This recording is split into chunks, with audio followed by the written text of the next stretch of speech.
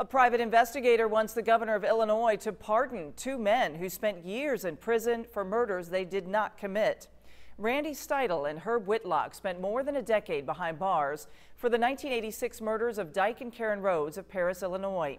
Steidl spent 17 years in prison, including 12 on death row. Whitlock was sentenced to life in prison. Both were eventually released because of flawed evidence.